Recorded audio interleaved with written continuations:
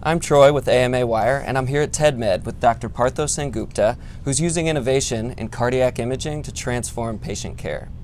Thank you for coming to talk to us today, Dr. Sengupta. Thank you very much. And so during your talk, I saw the hologram. It's fascinating. Thank you. What's the story behind that? How did it come to be? Yeah, I, think uh, it's a very interesting story. So, you know, I was always intrigued by the heart's uh, function and I wanted to know the real truth. And it was very in interesting to know that when I arrived in the United States and, and, started doing my research, there were close to about eight or more different models of heart function that were existing. And so I started uh, back onto the basics, uh, went and started doing dissections. And, uh, and then I realized I think the much better approach would be to use a technology like ultrasound or MRI to understand the, the, the makeup of the heart muscle fiber orientation. And uh, when we started doing those uh, examination, uh, uh we realized that uh, the muscle fibers and the spiraling arrangements um, were closely linked to how the blood flow was coming in and out and how the energy was getting conserved through occurrence of uh, swirling motion, also called as the vortex formation. So we designed new technology uh, around this uh, vortex formation uh, and the ability of ultrasound to uh, extract the information. But this was highly three-dimensional, so there was a need to better um, depicted in in uh, in its true three dimensionality and and uh, with true perception of depth. And I was mm-hmm. fascinated by um, the entertainment industry using uh, hologram uh, holograms. Like just miles from here, Tupac Shakur shows up on stage with Dr. Dre and Snoop Dogg. Starts rapping, blows everyone's minds. Right? That's true. I mean, uh, this is now you're talking about. Yeah. Um, this is somewhere along, uh, along the lines of I think 2011 or 12, and the American Society of Echocardiography gave this amazing opportunity to uh, present a, a, talk, and I said, why not do something creative and mm -hmm. try to show this information in holograms? So uh, I went to the entertainment industry, and it would be hundreds and thousands of dollars. Mm -hmm. So, so I crowdsourced the idea, mm -hmm. um, and then engineers from um, India, Canada, Europe, we all came together, and you will not believe it, it was just less than ten thousand dollars, and we had the hologram and that was amazing um, uh, to get that on the stage and, and to be able to show the heart's mm -hmm. function and, and the potential opportunities. And this was back in 2013. Mm -hmm. That was kind of uh, my um, uh, entrance into the field of holography. And, uh, and that really uh, helped spread the message out mm -hmm. very effectively. So that was the background to yeah. how I landed up uh, in the space of uh, mm -hmm. trying to visualize using holograms. So what did you what did you learn about the heart, about flow? Because you talked at, at ASE first year, um, your mentor came on stage as yes. Obi Wan Kenobi. yeah, hologram, that's true. Which was just fantastic. Yeah. But what did you learn about about blood flow? Yes. Um, well, I think we are still learning, um, but but this uh, this really goes into how much uh, uh, time we have spent trying to understand the heart. But the more opportunity you, uh, you have using real visualization techniques uh, like ultrasound and MRI, you closer get to the truth. Mm -hmm. And the mm-hmm. truth is very beautiful that uh, at least inside the heart on the left side or the right side, the valve geometry and the muscle function, everything is organized for an efficient flow redirection. So mm -hmm. nothing is wasted. So when there is a blood that is coming in and it's, mm-hmm. it's supposed to go out, we know by inertia it will start to rotate. So these rotational forces and the energy and the momentum uh, in this rotational motion is conserved. Mm -hmm. uh, so when you are exercising, for example, these rotational forces provide a quick uh, you know, a mo movement for the blood to come and rotate and come mm -hmm. out of the heart. So this is this is a very efficient design, uh, naturally available, and Vortex is very equivalent uh, and, and, and it's very commonly seen in uh, in nature. And I think it's uh, it's understanding the heart's function based upon the primary principle of conservation of energy and some of this energy conserving flow structure mm -hmm. um, makes made a lot of sense. Uh, mm -hmm. Particularly, it also makes a lot of sense with the valve design. Like for mm -hmm. example, there's a valve called as a mitral valve, which looks like a closed French door.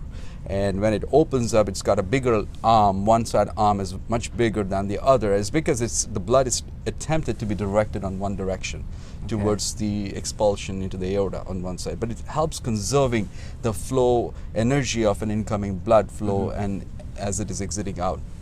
And this is all very extremely important when you're designing the new bioprosthetic valves. Uh, how you're going to design, how you're going to align it. If you don't take into consideration some of the efficiencies, you could see how uh, the natural design of valve is. Yeah. I mean, like for example, the aortic valve is like Mhm. only 0.15 millimeter thick, and is allowed to have a lifetime sustenance. I mean, how does that? That's amazing beauty. Yeah. I mean, so there there is a mechanism. It's the it's very flow uh, efficiently designed Mhm. to to redirect the flow. So some of these intricacies now can be understood using Mm-hmm. ultrasound and modern visualization techniques. Um, and I'm really uh, fascinated about uh, use of ultrasound because uh, it's it's uh, it's small, Mhm. portable, can be used in the community, and I, I really feel like uh, when you visualize y- y- and then you start making the model. It's a much more powerful way Mhm. to interpret rather than you are you first start modeling up without any information. Uh, so you, you need you need to see a patient. Uh, that's true, and have used a, stethoscope. That's true, but but I think understanding by direct visualization is much more powerful for cardiovascular examination. I believe, and use a pocket ultrasound that's become uh, uh, very common, Mhm. uh, and and I think is is uh, I'm very very uh, a big fan of using pocket ultrasound, and we have done a lot of work in the community. Uh, allows a very quick discovery of the underlying problem. So as I say in my in my talk, uh, that uh, we need to be able to discover the problem before development of symptoms, Mhm. uh, because once you develop the symptoms, it's too late Mhm. uh, in the disease process. Uh, and uh, and uh, there are there, there are there's a lot of technology um, made. Uh, you know, I mean, you can use different types of mobile health technology, and to reach to that threshold where you could trigger the use of an ultrasound uh, to discover the problem before the symptoms are happening. And this could be something that can be done very cost effectively in the community, and a lot of research is needed Yeah. in that area. So, for those who didn't get to see your talk, or for those who haven't seen your ASE talk, what does that look like in practice? So, if, if I'm using the hologram, if I'm using the pocket ultrasound, what does that look like even right here, say, if I were your patient? What would that look like? Yeah, so um, well, I think the technology is uh, really evolved very quickly. Now, I I was talking when I was using hologram. This was about three or four years back, and a lot of people like when they saw the presentation, um, uh, it was it was a shock to them uh, because seeing something is uh, like a hologram from the movies. We know Yeah. about the movies and all that stuff, but seeing it in live and real time was even more powerful. But now, uh, fast forward three years, within the last three years, now you have uh, technology where uh, you can convert your own desktop computers into a holographic suite. So. Uh, yes, I mean uh, there's there's this technology is going to evolve. Yeah. Still, we are using more more more like a holographic model. You use a pair of goggles and you can lift the valve out of the screen and rotate in the air, just like the way I showed it in my presentation. So yes, so Yeah. you take the ultrasound. So there are there are different ways to use imaging. Therefore, one image, one set of investigation is how you efficiently diagnose a problem. Mm-hmm. That's that's for quick pocket ultrasound used in the community um, at a certain threshold of uh, you know clinical presentation Mhm. or when other tests are suggesting that it will be useful. You use that appropriately, of course. Okay. It's very important to have an appropriate use. Uh, uh, so use ultrasound, and then if you find that there is a structural problem or something that needs to be done, uh, then you start bringing the world of computational modeling, which involves, uh, it's very interesting and it's all already there. Uh, you can use three dimensional ultrasound in institution, which is currently clinically Mhm. uh, used. You take the images uh, from the three dimensional ultrasound, and then you can have them seen in front of you as a hologram which allows you much better interaction with the three-dimensional anatomy. Because you're not no longer rendering based upon just the colors on a flat screen. Yeah. so you have the entire three-dimensional structure floating in front of you. So you can do the surgical planning you can bring in valves try to you know you can do all kinds Yeah. Of computational algorithm on that image in three dimensionality in its full three So it would dimensionality be right here. right in front of you. It will be it rotate. You can rotate it around. You can uh, work on it. You can play on it. Yeah. You can you can do your surgery on it. You can put an outside valve put into it. Wow. Uh, and and create your solutions.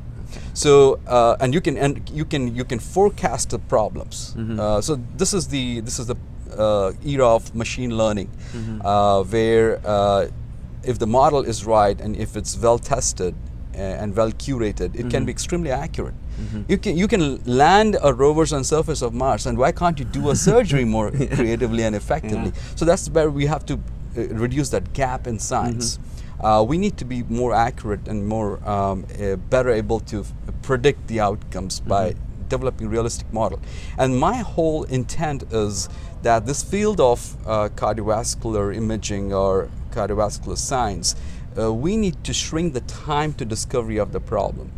Right now, we spend a lot of time just doing tests. Because you said how many years did it take for you? Four, five years? Yes, so, So to understand research, uh, yeah. the, the research, but we are, it's an exponential trend now. I Mm-hmm. mean, exponential is like t- the time is shrinking very rapidly. So technology is evolving very rapidly. So if you curate it correctly, in a, we need to spend less time on discovering the problems Mm-hmm. and then spend more time on solutions. So I need to be able to give a personalized solution. And it's, it should not be one stop uh, type of a design for everybody. You- I need to be able to take into consideration an individual preference, individual geometry, individual variations, and be able to personalize. And that's why the hologram works so well, because that's it. If we did the ultrasound on me, that is my heart. That's outside your Of heart. That's that's your heart. You can, Yeah. in fact, if you have your heart, you, you- and you had some hearts, uh, uh, some of this images stored over a period of time, you can see how it progressed, and you can make your deductions uh, based upon uh, or based upon how the changes are happening of what would be needed for you to stay healthy. Uh, you can, in fact, if you knew that you had a valve problem, which is not completely abnormal at this stage, but you could spend, you can discover that problem early, spend like three or four years of your life Yeah. knowing that you have to do something uh, uh, later down or, or modeling out the solution. How do I work on it? How do I reduce it uh, so that it doesn't progress rapidly? What so you know knowing the problem upfront and spending more time on solving the problem. Right now we, we don't have much time for on solving. In fact, we get the patients very late Yeah.